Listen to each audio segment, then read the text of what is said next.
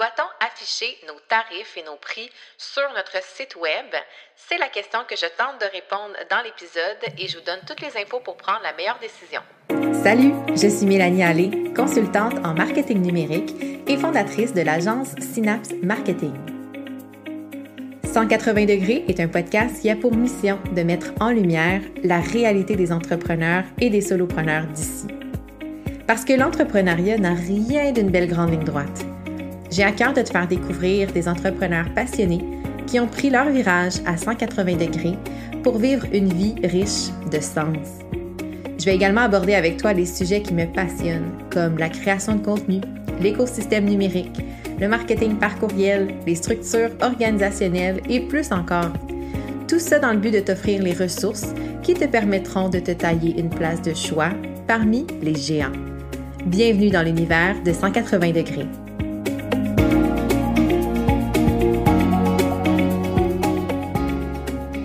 Bonjour tout le monde, bienvenue dans ce nouvel épisode de 180 degrés. Aujourd'hui, je parle d'un sujet euh, chaud, on va dire. Je parle de prix, je parle de tarifs, mais surtout de est-ce qu'on doit les afficher sur notre site web? Là, si vous avez une boutique en ligne avec des produits, vous dites effectivement oui, je dois les afficher. Euh, c'est vraiment un épisode qui s'adresse au secteur des services parce que euh, il y a comme deux écoles de pensée qui s'opposent par rapport au fait d'afficher soit son tarif horaire si vous êtes euh, au, niveau euh, de, de ce genre de tarification-là, ou même vos forfaits, vos offres d'accompagnement, bref, peu importe ce que vous vendez. Il y a beaucoup de gens qui ne vont pas vouloir afficher le prix pour plein de bonnes et mauvaises raisons, et c'est un peu ça que j'ai envie de démystifier. Parce que je me suis moi-même posé la question à plusieurs moments euh, dans la première année là, où j'ai lancé mon entreprise. Je me disais, bon, est-ce que je mets des tarifs? Est-ce que ça va me nuire? Euh, il y a aussi le, syndrome de l'imposteur, de savoir, bon, est-ce que je charge trop cher? Est-ce que je charge pas assez cher? Euh, est-ce que les gens de l'industrie vont trouver que mes tarifs ne font pas de sens? Donc, il y, a, tout ça, en fait, qui rentre en ligne de compte dans euh, la réflexion que vous allez faire à savoir si oui ou non vous allez les afficher. Euh, mais j'ai envie de hmm, gratter un petit peu plus loin pour, vous donner d'autres genres de euh, pistes de réflexion intéressantes. Donc, quand je dis il y a deux écoles de pensée, ben la première école de pensée, c'est de croire, de, dire plutôt que de ne pas afficher le, les prix, en fait, de vos services et de plutôt amener les gens à réserver un appel découverte va faire en sorte euh, que vous allez être capable de, comment dire, de guider la réflexion de votre client potentiel en montrant finalement tout ce qu'il va obtenir euh, avec votre service, dans le fond, de faire la, démonstration de valeur. Donc, dans un appel, vous avez le temps de vraiment décortiquer votre offre, euh, de vraiment connecter avec la personne donc, d'un point de vue vente, euh, si vous avez ces talents-là naturels chez vous, euh, c'est sûr qu'il y a une espèce de facilité à vendre, même pour des prix qui sont plus élevés. Généralement, quand on n'affiche pas son prix, euh, c'est souvent parce que c'est des offres, par exemple, premium, où on ne veut pas décourager les gens d'emblée avec un prix, mais on veut prendre le temps d'asseoir finalement la valeur et de jouer sur la perception justement de, cette valeur-là pour amener les gens à dire Ah ben oui, tu sais, j'ai connecté avec elle, je sais qu'elle va m'offrir euh, ce que j'ai besoin. Euh, je sais que ça fait du sens, donc oui, je vais passer à l'action, même si c'est beaucoup plus cher que ce que j'avais imaginé, par exemple. C'est une situation euh, hypothétique, mais reste que c'est souvent ça, finalement, qui est véhiculé dans, je, vous, je vous dirais, la team des gens qui ne vont pas afficher leurs tarifs sur leur site web. Donc, c'est des bonnes raisons parce qu'effectivement, euh, ça peut décourager certains, surtout si vous avez, s'ils n'ont pas le budget nécessaire maintenant, ben euh, peut-être que finalement ils vont reconsidérer leur budget finalement lors de l'appel parce qu'ils vont tellement voir euh, la valeur que vous avez à offrir. donc ça, c'est pas mal, je vous dirais, le, le core de l'argumentation pour les gens en faveur de ne pas afficher le prix sur leur site web. Maintenant, de l'autre côté, moi, j'ai sondé un peu dans, mon cercle, euh, euh, on va dire restreint, là, euh, ben, pas restreint, mais mon cercle proche d'entrepreneurs. Et je leur ai demandé, est-ce que pour vous, c'est important que les, prix soient affichés? Puis je vous dirais, là, qu'à presque 100% des gens, ce qu'on m'a répondu, c'est moi, s'il n'y a pas de prix, je ne sais pas à quoi m'attendre. Ça me turn off, si on veut, excusez-moi d'anglicisme, mais j'ai comme pas envie de faire l'effort de booker un appel découverte pour prendre le risque que peut-être ça soit hors budget, d'avoir perdu mon temps et d'avoir fait perdre le temps à l'autre euh, professionnel, l'autre entrepreneur. Et euh, c'est un peu aussi ce que je pense, dans le sens où moi, je, suis une adepte de transparence et j'aime savoir un peu à quoi m'en tenir parce qu'il y a des professionnels qui vont charger dans tous les euh, niveaux de prix. Donc, ce que je veux dire, c'est qu'il y a une offre qui existe pour tout le monde à tous les niveaux de prix et c'est vraiment correct comme ça. C'est juste que ça arrive des fois qu'on dit, ben, je vais booker un appel découverte, puis là, finalement, c'est vraiment plus cher que ce qu'on avait prévu. Et c'est pas grave que ce soit plus cher que ce qu'on avait prévu. C'est juste que peut-être qu'on préférerait à ce moment-là savoir que c'est plus cher que ce que je m'attendais, mais me dire, hum, tu sais quoi, je pense que je vais juste réorganiser mes finances ce mois-ci. Je vais essayer d'aller chercher les liquidités nécessaires et dans un mois, je vais la recontacter puis je vais faire affaire avec elle parce que j'ai confiance. C'est la professionnelle ou le professionnel que j'ai choisi de faire affaire avec. Mais comme le prix ne me convient pas encore pour l'instant, je vais tout faire en, en sorte d'être capable de payer pour ce service-là. Donc, autrement dit, c'est comme un challenge, si on veut, dans le sens que, OK, peut-être que c'est pas le tarif que je m'attendais, mais OK, je vais m'arranger pour être capable de euh, ramasser, si on veut, euh, les fonds nécessaires. Fait que ça, c'est euh, un des aspects par rapport aussi au temps que vous allez, que vous allez passer finalement en appel découverte. Est-ce que c'est vraiment du temps comment dire, nécessaire? Est-ce que c'est vraiment des gens qui viennent en appel découverte parce qu'ils sont intéressés par votre service ou c'est des gens qui bookent des appels découvertes parce qu'ils ne savent pas finalement combien ça coûte puis ils sont au tout début du processus euh, décisionnel? Parce que, bon, à l'inverse, quand on affiche son tarif, comme je le fais, Bien, quand j'ai des appels découvertes, c'est pas des appels pour argumenter sur un prix ou pour démontrer une valeur, euh, pour décortiquer un niveau de prix finalement. C'est vraiment un appel pour voir est-ce qu'il y a un fit de personnalité, est-ce que je suis la bonne personne pour les aider, quelle est ma vision, ma perception de l'entreprise, de l'entrepreneur qui est devant moi, comment je considère euh, l'aider par mon offre d'accompagnement, par exemple? Donc, c'est un appel qui se fait euh, très facilement. Il n'y a aucun obstacle lié au prix. Et je vous dirais qu'à 99 bien, ça se conclut parce qu'il n'y a pas de. Euh, la barrière du prix, elle est déjà éliminée d'emblée. Donc, moi, je trouve que c'est le plus gros avantage, c'est qu'il y a un tri naturel qui se fait.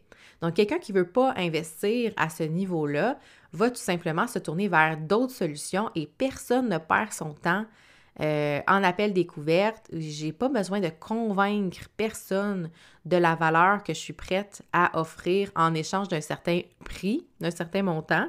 Donc pour moi, ça c'est vraiment une grande liberté parce que je veux pas passer mes semaines en appel découverte justement à convaincre des gens que euh, mon offre euh, leur convient. C'est à eux à déterminer est-ce que je suis la bonne personne, mais le prix a déjà été d'emblée un peu adressé grâce au site Internet. Et malheureusement, dans l'industrie, euh, il y a beaucoup d'approches de vente où on va un peu squeezer les gens dans des appels découvertes. Et ça, ça, on le ressent. Quand on sent qu'on est dans une espèce de, comment je dirais ça, dans une espèce de, de, de canevas de base, de, préfet, là, qui, disons, qui réfléchit pour m'amener à prendre la décision de passer à l'action.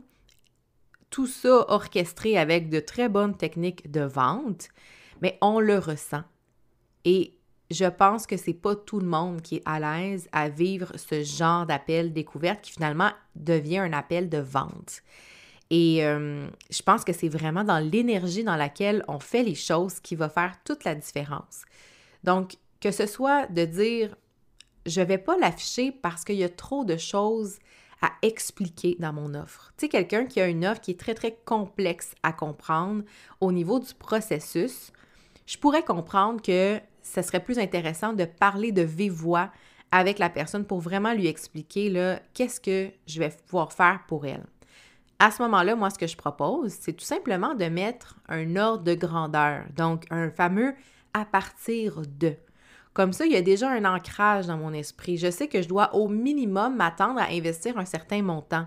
Puis des fois, en voyant ça pour certains euh, services, un à partir de, ben là, je vais comprendre que, hi, OK, moi, je pensais pas que ça coûtait ce prix-là. Euh, OK, ben, soit que je vais réévaluer mes besoins, ou je vais tout simplement, comme je disais tantôt, m'arranger pour avoir les fonds, les liquidités nécessaires pour investir dans cette offre-là. Donc, si on part avec la prémisse que on affiche nos tarifs sur notre site Internet, je pense qu'il y a des règles, disons, à respecter pour que ça se fasse de la bonne façon et que euh, finalement on atteigne nos résultats. Donc, l'élément à considérer ici, c'est vraiment au niveau de l'accompagnement euh, dans la prise de décision, mais comme on n'est pas devant, euh, disons, le lecteur de votre page de site Internet, c'est de vraiment l'aider à prendre la décision et de comprendre finalement toute la valeur associée au service que vous avez à offrir. Donc, un peu comme vous le feriez dans un appel découverte, c'est de vraiment expliquer le processus et toutes les étapes euh, liées à votre offre. Donc, pour comprendre euh, qu'est-ce qu'il y a derrière. Donc, euh, par exemple, si vous êtes graphiste et que vous offrez un service de logo et de charte graphique, par exemple, ben, j'irai pas avec quelque chose comme logo, charte graphique, tel prix. J'expliquerai un peu la démarche derrière la création de logo parce qu'il y a beaucoup de gens qui ne saisissent pas toutes les étapes de création qu'on retrouve derrière euh, un logo et de, comprendre que, par exemple, si vous, prenez le temps d'aller euh, épier, éplucher euh, tous les réseaux sociaux de vos clients, d'aller voir tout l'univers visuel qui se retrouve derrière, de comprendre les valeurs, de vraiment faire une démarche artistique complète, bien, il faut que quand on voit la page de service ou la page de vente, qu'on comprenne tout ça qu'on est capable d'associer une valeur X, soit au niveau de, de profondeur, d'expertise aussi, mais aussi au niveau du produit, du service qui va être rendu, s'assurer que ce soit vraiment pleinement aligné. Je suis convaincue et vraiment très convaincue que une bonne page de service explicative avec des tarifs alignés, c'est beaucoup plus euh, vendeur, entre guillemets, que de ne pas mettre de prix, de teaser un peu, d'amener les gens à, faire un appel. Parce qu'il y a vraiment des gens qui sont introvertis dans la vie et qui, pour eux, réserver un appel avec quelqu'un qu'on ne connaît pas dans le but de savoir si un on a le budget ou pas. Il y en a pour qui c'est vraiment euh, euh, un grand, grand frein et qui vont s'empêcher finalement d'interagir avec vous, ben, de réserver finalement ce genre d'appel-là et qui vont tout simplement se tourner vers une autre option où le tarif est clairement établi. Parce qu'il n'y a rien de plus plate et gênant et, on va dire, euh, comment dire, malaisant que d'être dans un appel découverte où le prix est vraiment trop élevé par rapport à nos attentes initiales et là, de devoir dire à la personne que ça ne fait pas partie de son budget, de un, il y a un sentiment parfois de honte de dire ben non, je ne peux pas me permettre ça encore. Tu sais, je suis pas euh, rendu, mon entreprise n'est pas rendue à ce niveau-là pour payer ce genre de service-là. Et d'un autre côté, ben ça fait parfois référence à ben là, euh, est-ce que l'autre va penser que je reconnais pas sa valeur en tant que professionnel ou expert? Donc, tu sais, il y a ça aussi. Voulez-vous être associé à une situation malaisante, par exemple? Puis il y a beaucoup d'entrepreneurs aussi qui vont, euh, qui vont euh, se faire dire Ah oui, oui, c'est beau, je vais réserver tantôt. Et finalement, après ça, pouf, plus de son, plus d'image.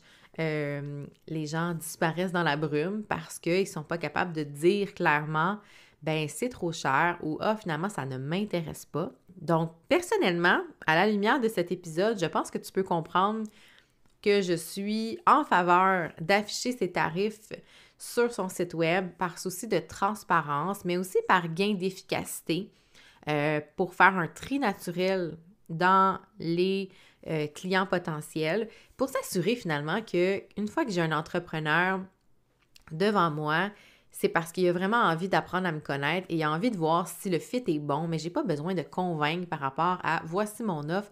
Je me sens moins vendeuse comme ça et j'ai plus envie de connecter avec, euh, avec les gens qui réservent les appels avec moi.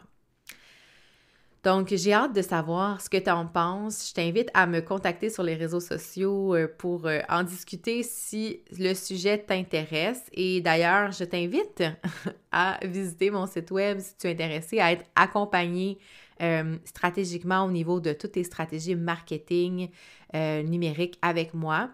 Évidemment, j'ai un appel découverte, mais tu peux déjà consulter mon site web pour comprendre un peu quelle est l'offre associée derrière pas de mauvaise surprise et pas de sentiment d'obligation de quoi que ce soit. Donc, c'est là-dessus que je te laisse pour cette semaine. J'espère que tu as apprécié l'épisode. Et d'ailleurs, si c'est le cas, je t'invite à laisser une note de 5 étoiles euh, dans ton logiciel d'écoute de podcast parce que oui, ça fait une différence au niveau du référencement. Donc, c'est une belle façon de, de m'aider à faire connaître le podcast à un plus grand nombre d'entrepreneurs possible. Alors, je te remercie d'être là chaque semaine et si tu as envie de me retrouver sur les réseaux sociaux, eh bien, de mon côté, ça se passe davantage plus sur Instagram. Je dirais que c'est la plateforme euh, idéale pour voir un peu le maximum de contenu. Sinon, je suis aussi présente sur LinkedIn et sur Facebook. Et d'ailleurs, je t'invite à rejoindre mon groupe privé, le marketing web à votre portée sur Facebook. Donc, tu as juste à taper ce titre-là, le marketing web à votre portée euh, dans Facebook et tu vas pouvoir retrouver le groupe très facilement. Alors sur ce, je te souhaite une excellente semaine et on se retrouve la semaine prochaine pour un autre épisode de 180 degrés. Bye tout le monde!